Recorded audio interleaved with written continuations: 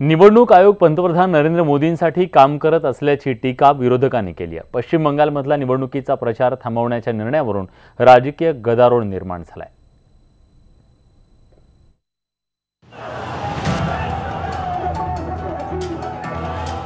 पश्चिम बंगालमधला प्रचार गुरुवारी रात्री दहा वाजता संपतोय. निवडणूक आयोगानं मुदतीच्या आधीच प्रचार थांबवण्याचा निर्णय घेतला. कोलकातामध्ये झालेल्या हिंसाचारानंतर निवडणूक आयोगानं हा निर्णय घेतलाय पण या निर्णयावर जोरदार टीका होतीये. एक चीज़ किया मोदी को खिलाफ में मोदी जो जो बात किया सबको खिलाफ में। एक भी एक्शन लिया इलेक्शन कमीशन अमित शाह के खिलाफ में लिया बीजेपी का पार्टी का खिलाफ में लिया जो बात बीजेपी कहते हैं उन्होंने बीजेपी का माउथ पीस हो गया है। श्री नरेंद्र मोदी व इनके चेले श्री अमित शाह के नेतृत्व में उनकी पूरी पार्टी व सरकार ने वहाँ एक सोची समझी रणनीति के तहत ही ममता बनर्जी की सरकार को काफ़ी लंबे से टारगेट किया हुआ है। निवडणूक आयोगाची निष्पक्षता धोक्यात आल्याचं मत काँग्रेसनं व्यक्त केलंय. निवडणूक आयोग घाबरलेल्या आणि असहाय्य अवस्थेत असल्याचा टोला रणदीप सुरजेवाला यांनी लगावलाय. चुनाव आयोग जिसकी संवैधानिक नैतिक और कानूनी जिम्मेवारी है कि निष्पक्ष, निर्भीक चुनाव इस देश में हो, आज वो एक डरा, थका, असहाय और असमंजस की स्थिति में प्रजातंत्र की रक्षा में नाकामयाब और प्रजातंत्र का हनन और चीर हरण होते हुए खड़ा खड़ा देख रहा है। कोलकातासह पश्चिम बंगाल बंगालमध्ये राजकीय हिंसाचाराच्या घटना घडत आहेत त्यामुळे प्रचार आधीच थांबवण्याचा निर्णय निवडणूक आयोगाला घ्यावा लागतोय. निवडणूक आयोगाचा हा निर्णय म्हणजेच राजकीय पक्षांचं अपयश म्हणावं लागेल. Bureau report news eighteen Lokmat. पंतप्रधान नरेंद्र मोदींना पंतप्रधान होण्यापासून रोखण्यासाठी काँग्रेसनं आता कंबर कसली आहे. काँग्रेसचा पंतप्रधान झाला नाही तर इतर पक्षाला पाठिंबा द्यायची तयारी काँग्रेसनं दर्शवली आहे. एकंदरीतच मोदींच्या विरोधात विरोधक एकत्र यायला सुरुवात झाल्याचं दिसून येत आहे इस वक्त हम कोई इशू नहीं बनाना चाहते हैं कि जब हम नहीं बनेंगे तो कोई भी नहीं बनेगा, ऐसा कोई संभावना नहीं। इस वक्त हम कोई इशू नहीं बनाना चाहते हैं कि जब हम नहीं बनेंगे तो कोई भी नहीं बनेगा, ऐसा कोई संभावना नहीं। गेले काही दिवस पंतप्रधान पदावर मूग घेऊन गप्प बसलेल्या काँग्रेसकडून आता पहिल्यांदाच पंतप्रधान पदासंदर्भात वक्तव्य करण्यात आलंय. या वक्तव्याचा अर्थ स्पष्ट आहे की मोदींना रोखण्यासाठी आता काँग्रेसनं कंबर कसली आहे. मग भलेही काँग्रेसचा पंतप्रधान नाही झाला तरी चालेल. राहुल गांधींचं पंतप्रधान पदाबाबतचं वक्तव्यही हेच सूचित करत आहे प्रधानमंत्री बनने के लिए तैयार हैं? मैंने कहा भैया जनता के ऊपर है जनता मालिक है। प्रधानमंत्री बनने के लिए तैयार हैं? मैंने कहा भैया जनता के ऊपर है जनता मालिक है। पंतप्रधान पदासंदर्भात सोनिया गांधींनी आधीच तयारी सुरू केली आहे. सोनिया गांधींनी तेवीस मेला विरोधी पक्षनेत्यांची एक बैठक बोलावली आहे. या बैठकीला युपीएच्या घटक पक्षातील नेते आणि तिसऱ्या आघाडीचे नेते उपस्थित राहणार आहेत. तर दुसरीकडे भाजपला बहुमत मिळालं नाही तर कोण पंतप्रधान होईल यावर शरद पवारांनी भाष्य केलं होतं.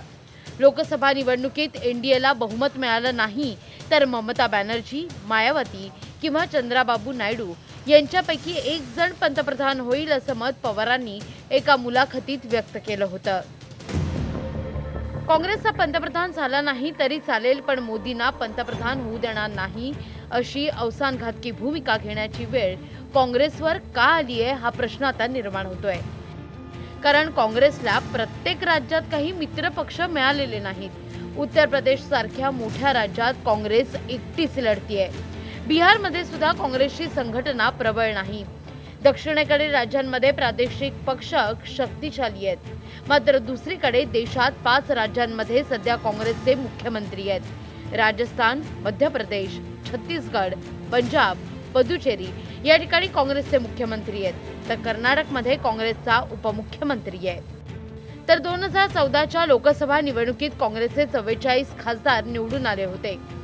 पक्षाची अशी स्थिती असल्या कारणानं काँग्रेस पूर्णपणे भाजपला आव्हान देऊ शकत नाही असं कदाचित काँग्रेसला वाटत असेल. परिणामी आता भाजपला रोखणं हेच काँग्रेसचं लक्ष बनलंय. Bureau report news eighteen Lokmat. हम नहीं तो तुम नाही. पंतप्रधान मोदी हे दुराचारी आणि अहंकारी आहेत अशी घणाघाती टीका आज ममता बॅनर्जींनी केली आहे. বদলে দিন বদলে দিন বিজেপি সরকার বদলে দিন আর না আর না অনেক হয়েছে নরেন্দ্র মোদী আর নয় অত্যাচার তুমি একজন দুরাচারী তুমি একজন স্বৈরাচারী তুমি একজন অত্যাচারী তুমি অহংকারী তোমার মতো লোক ভারতবর্ষের মাটিতে শোভা পায় না তুমি যাও তাড়াতাড়ি বিদায় নাও তুমি বিদায় নাও तर कोलकात्याच्या डमडममधील सभेत पंतप्रधान नरेंद्र मोदी यांनी ममता दिदींना पुन्हा एकदा जोरदार टीका करून त्यांच्यावरती शरसंधान साधलंय. तेईस मई को जब फिर एक बार फिर एक बार फिर एक बार फिर एक बार जब तेईस मई को नतीजे आएंगे फिर एक बार मोदी सरकार बनेगी तब इन घुसपैठियों का हिसाब होगा। राजस्थानमधल्या अलवरमध्ये एका महिलेवर सामूहिक बलात्कार करण्यात आला. या पीडितेची काँग्रेस अध्यक्ष राहुल गांधी यांनी भेट घेतली. या प्रकरणातील दोषींवर कठोर कारवाई केली जाईल असं आश्वासन त्यांनी दिलं. तसंच पीडितेला भरपाई देण्यात आली असून शक्य ती सर्व मदत केली जाईल असा विश्वास सुद्धा राहुल गांधींनी व्यक्त केलाय. ब्रेकनंतर तुमचं पुन्हा एकदा स्वागत. तुम्ही पाहता न्यूज एटीन लोकमत स्पेशल भूतानं रात्रीतून बंगला बांधल्याचं तुम्ही गोष्टीतून ऐकलं असेल पण रात्रीतून चारा छावणी उभी करण्याचा पराक्रम नाशिकमधल्या अधिकाऱ्यांनी करून दाखवलाय. महिनाभर अधिकाऱ्यांच्या दारावर धडका देणाऱ्यांना कधीच पाझर फुटला नाही. पण वरिष्ठ अधिकारी येणार हे कळताच रात्रीतून छावणी उभी करण्याची भूताटकी करामत अधिकाऱ्यांनी करून दाखवली आहे.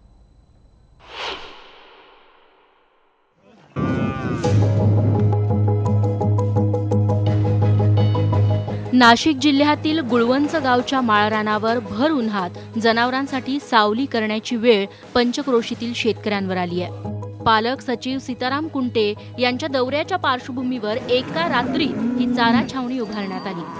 मात्र जनावरांसाठी सावलीची कोणतीच व्यवस्था इथं करण्यात आली नाही. त्यामुळे मिळेल त्या साधनांच्या मदतीनं शेतकऱ्यांनी जनावरांसाठी छत उभारलंय. अर्जुन चक्रमावड मी गुळवणगावचा शेतकरी. तर माझे का पाच जनावर आहे. तर मग मला इथं यांनी फोन केला का छावणी आपली इथं होऊ राहिली. तुम्ही जनावर घेऊन या. मी काल जनावर घेऊन आलो. ही सावली केली माझ्या पद्धतीने मी. आणि तिथं जनावर आणले त्यांनी मला अठरा किलो चारा एक जनावराला दिला. माझी अशी परिस्थिती माझी दोन्ही पोरं कामावर असताना माझी बरगडी क्रॅक आहे. ॲक्सिडेंटमध्ये बारा नंबरची बरगडी क्रॅक असताना मला खड्डे करायची पडेल. पर्याय नाही त्याला. काय करणार? उन्हातानामध्ये जनावर तडतड करतात. सरकारकडून केवळ चारा आणि पाण्याची व्यवस्था करण्यात आली आहे. मात्र जनावरांसोबत राहणाऱ्या बळीराजाचा सरकारला पुरता विसर पडलाय. राज्यात भीषण दुष्काळ पडला आणि या दुष्काळानंतर मागणी पुढे आली ती चारा छावण्यांची आणि चारा डेपोची. मात्र आधी निवडणुका नंतर अधिकाऱ्यांच्या सुट्ट्या यामध्ये सर्वसामान्य शेतकऱ्यांच्या चारा छावण्या या सरकार दप्तरी अडकल्या. मात्र आता चारा छावण्या सुरू झाल्या मात्र तरी देखील या शेतकऱ्यांना पुरेसं साधन सामुग्री मिळत नाहीये आणि अपुऱ्या साधन सामुग्रीमध्ये आपली जनावरं वाचवायची आणि त्यासाठी हे शेतकरी आता खटाटोप करताना पाहायला मिळत आहे गेल्या दोन महिन्यांपासून या परिसरातील शेतकऱ्यांकडून चारा छावणीची मागणी केली जात होती. मात्र आचारसंहितेचं कारण देत जिल्हा प्रशासनानं त्याची दखल घेतली नाही. आता पालक सचिवांच्या दौऱ्याच्या पार्श्वभूमीवर खडबडून जागे झालेल्या प्रशासनानं चारा छावणीचा घाट घातला खरा मात्र त्यात शेतकऱ्यांची पुरती ससे होलपट झाली आहे Laxman घाटोळसह bureau report news eighteen Lokmat Nashik. ब्रेकनंतर तुमचं पुन्हा एकदा स्वागत. त्यानंतर एक खास बातमी. अभिनेत्री कंगना राणावतनं कान फेस्टिवलमध्ये देसी लूक धारण केलेला आणि तिने या लूकसाठी खूप अशी मेहनत घेतली होती. थोड्याच वेळात ती रेड कार्पेटवर चालणार आहे. फाल्गुनी शेन या विख्यात फॅशन डिझायनरनं हा कॉस्ट्यूम डिझाईन केला आहे आणि यासाठी तिनं वजन कमी केल्याचं देखील कळत आहे जगप्रसिद्ध आयफेल टॉवरचा आज वाढदिवस आहे. या ऐतिहासिक वास्तूला एकशे तीस वर्ष पूर्ण झाली आहेत आणि या निमित्तानं आयफेल टॉवरवर लेझर शो आयोजित करण्यात आलेला आहे. त्याचीच ही नयनरम्य अशी दृश्य आहेत या दृश्यांसोबत बुलेटिनमध्ये आपण इथेच थांबतोय. ताज्या घडामोडींसाठी बघत रहा न्यूज एटीन लोकमत.